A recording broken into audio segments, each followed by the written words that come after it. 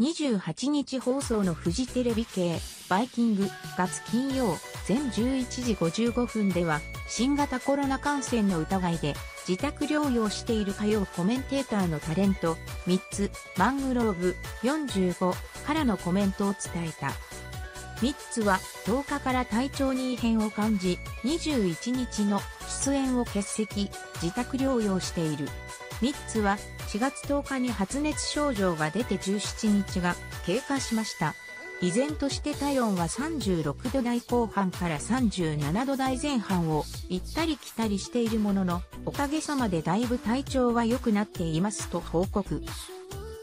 27日にかかりつけの病院で初めて感染症内科の医師の診断を受けたところ、特に早急な治療を要する炎症等はなく、発熱などが新型コロナ関連か否かの判断はつけられない。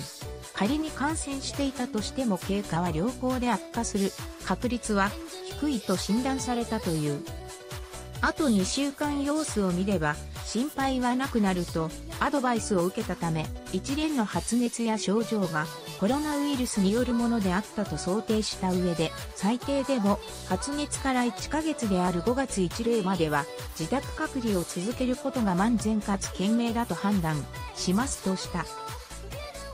そして復帰する時期の判断について私と同じような迷いや不安を抱えた人たちにとってもそうした判断を社会にちんと提示できる法的な目安が1日でも早く整い浸透することを望みますと思いを示した。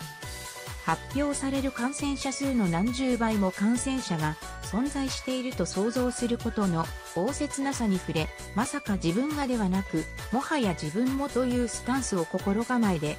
引き続き慎重かつ冷静に過ごしていきましょうと呼びかけた。これを受けて MC の坂上忍52は3つらしいというか本音で気を使った文章だと思います。公的な目安が欲しいですねと話した。